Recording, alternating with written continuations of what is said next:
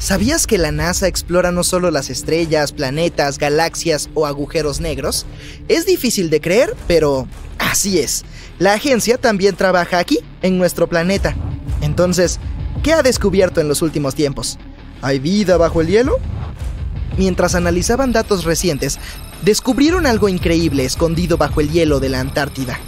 Y este hallazgo no solo cambia lo que sabemos sobre todo el sistema de agua de la Tierra, sino que también puede ayudar a investigar la vida en el espacio. La existencia de la humanidad podría depender de la comprensión de la Antártida y sus secretos. Estos descubrimientos recientes revelan información vital sobre nuestra supervivencia. Pero antes de continuar, veamos cuánto sabes sobre este lugar, en el que solo hay hielo hasta donde tus ojos pueden ver. La Antártida es uno de los siete continentes del mundo y está ubicada en el hemisferio sur. Es el quinto continente más grande en términos de superficie total. Tiene casi el doble de tamaño de Australia. ¿Quieres ver meteoritos? Ve a la Antártida. Debido a su clima seco, es uno de los mejores lugares para observar el espacio. Pero lo que es aún mejor es que puedes encontrar meteoritos en la superficie del continente.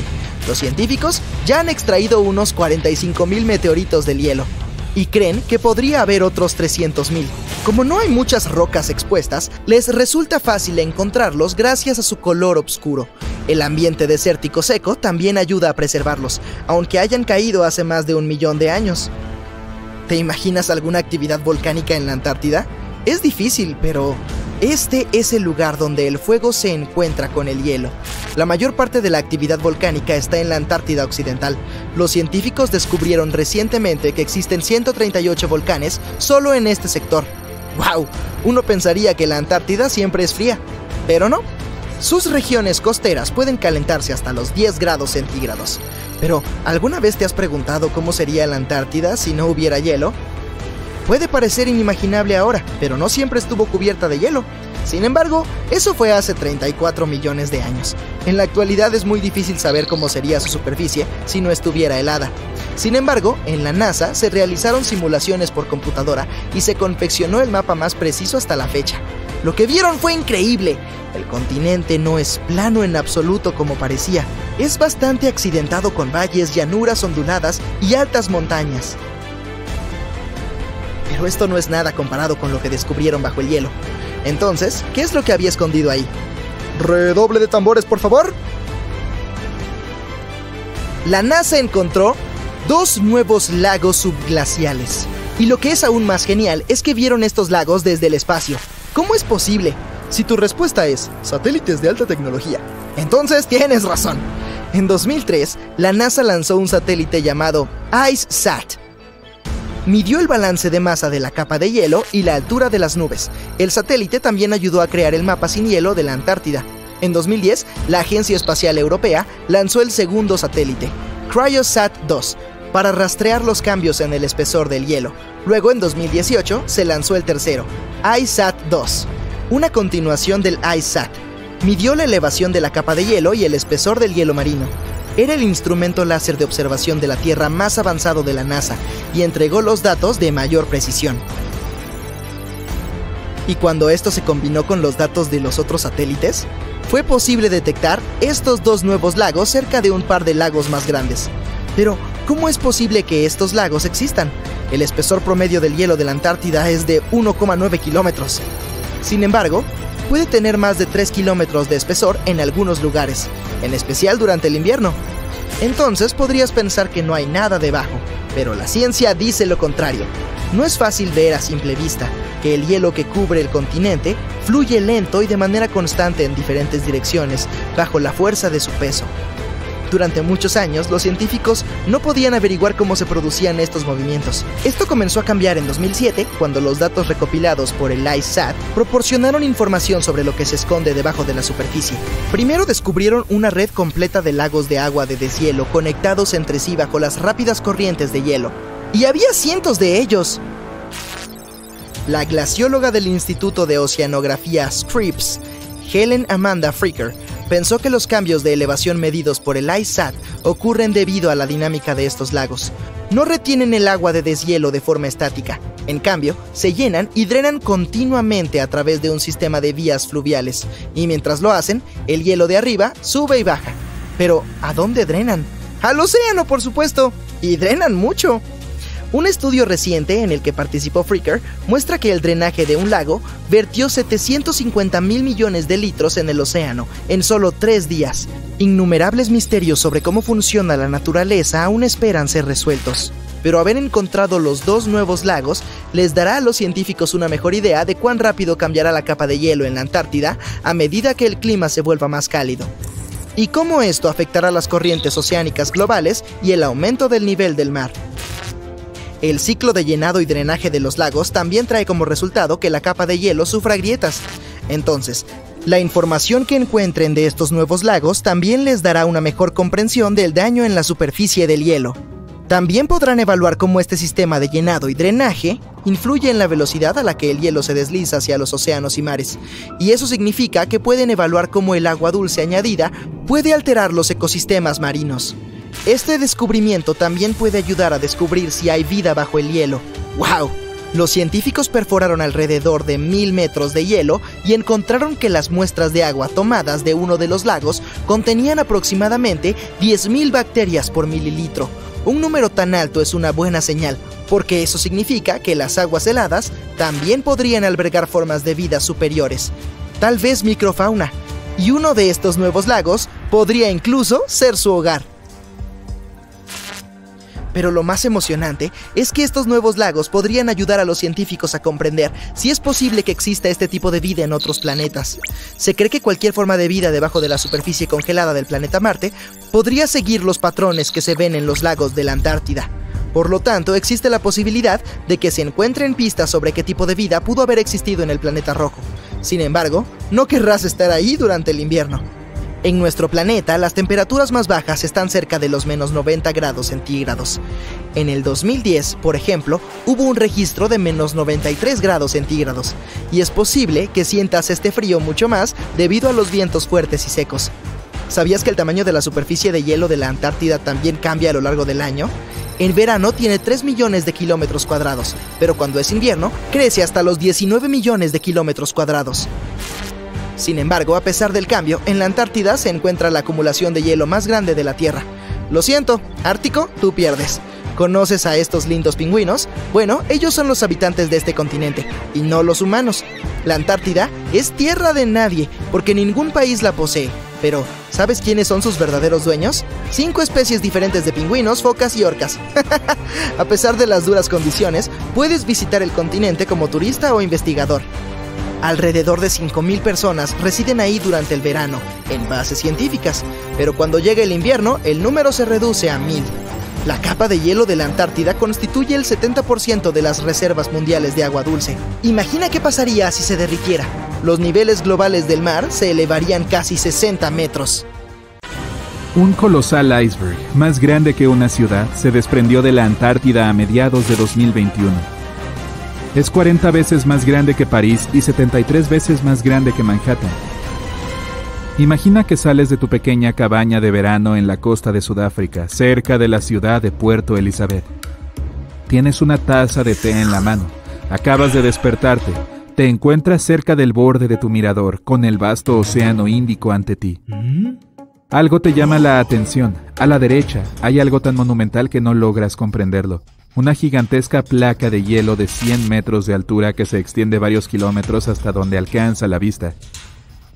Avanza lenta pero implacablemente, adentrándose en las profundidades del mar. Si se aleja lo suficiente, podría llegar a la costa occidental de Australia. Hay una manada de delfines jugando delante de él, como a veces lo hacen frente a la proa de un barco. Sin embargo, no son más que puntos en comparación con el imponente iceberg. Te quedas tan sorprendido que se te cae la taza. Tus ojos son tan grandes como platos. Es como algo sacado de una película de ciencia ficción. ¿Acaso estás soñando? ¿Estás viendo cosas?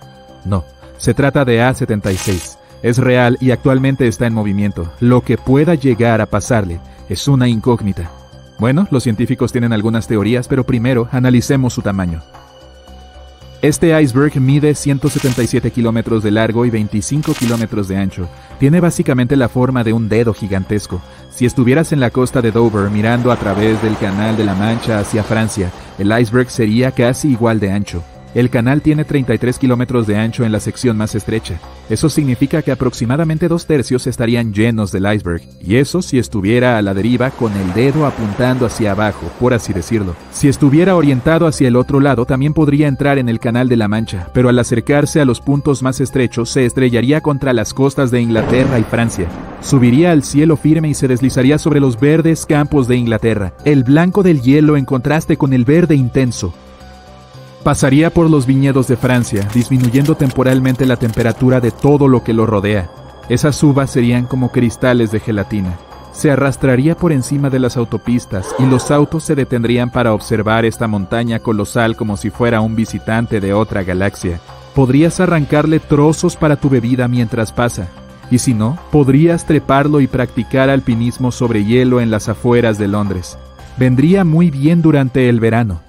Regresemos a lo que realmente pasó y a lo que los científicos creen que pasará.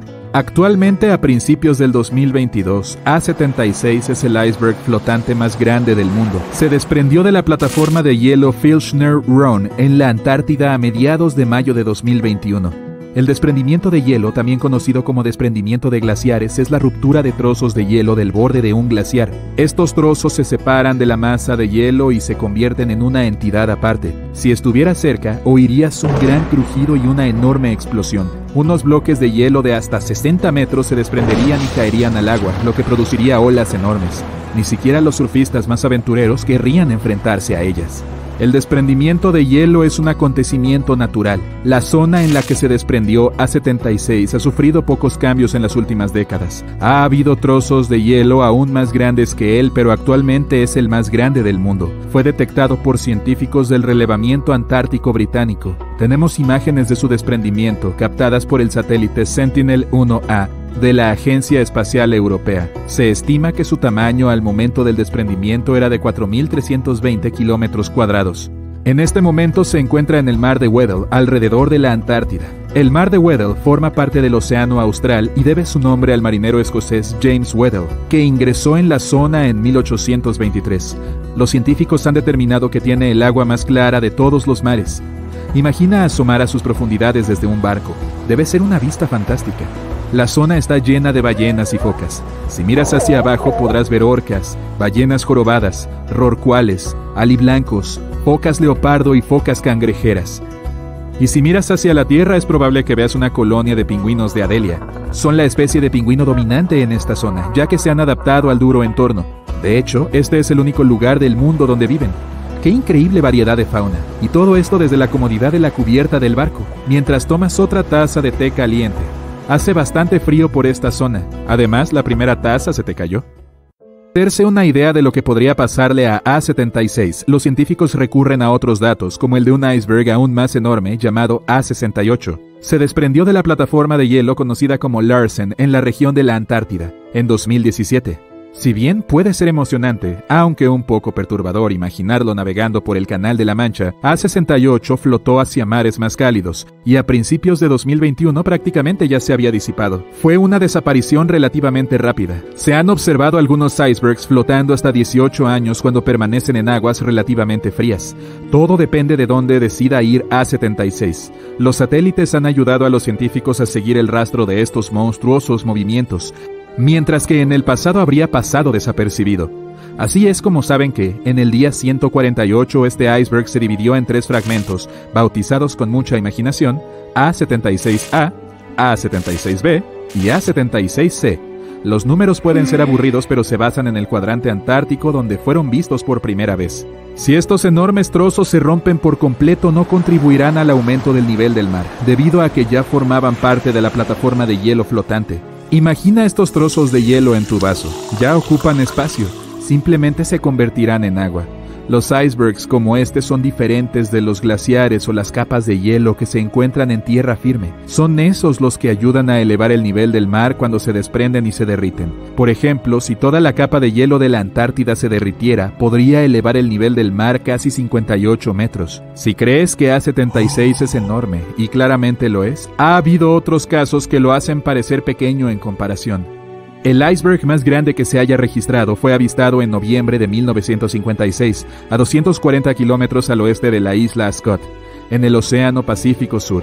Irónicamente fue visto por un barco conocido como el USS Glacier. Tenía un tamaño de más de 31.000 kilómetros cuadrados. Eso quiere decir que era más grande que Bélgica. Lo que pueda ocurrir con los trozos de A-76 dependerá de varios factores. Las corrientes oceánicas pueden tener un impacto significativo, así como la dirección y la velocidad del viento. Es posible que se acerquen a las costas donde podrían congelarse y convertirse en hielo compacto. También podrían derivar hacia aguas poco profundas y golpear el fondo, lo que se conoce como perforación del lecho marino por hielo. La parte más profunda del iceberg puede actuar como la quilla de un barco. Se hunde en el fondo del océano, pero el gran tamaño del iceberg lo mantiene en movimiento. Poco después desgarra el suelo creando un largo y estrecho surco. Los peces se dispersarían, la tierra temblaría, el ruido sería terrible. Se trata de un fenómeno bastante común en las zonas de alta mar, cerca de donde se encuentra el hielo. ¿No te gustaría estar buceando por ahí cuando una de estas perforaciones tenga lugar? Sin embargo, sería una vista espectacular. Por lo general, los icebergs se deterioran al derretirse y fracturarse, lo que, como imaginarás, altera su masa y su superficie. Esto, combinado con el viento y las corrientes marinas, puede dificultar las predicciones del asunto de los icebergs. En cuanto a A76, tendremos que esperar y ver. Antes de irnos, regresemos a nuestro viaje imaginario por el Canal de la Mancha. La isla de hielo, 73 veces más grande que Manhattan, con su gigantesco dedo helado apuntando hacia el mar Céltico, avanza sin cesar sin poder detenerse. Cientos de miles de personas han viajado a las costas de Inglaterra y Francia para contemplar este extraordinario espectáculo a medida que pasa. En la cima de hielo hay miles de pingüinos jugando alegremente. Parece que devuelven el saludo a la multitud de espectadores, que les toman fotos antes de que se alejen. Los niños saltan de alegría ante el espectáculo más fascinante que jamás hayan presenciado.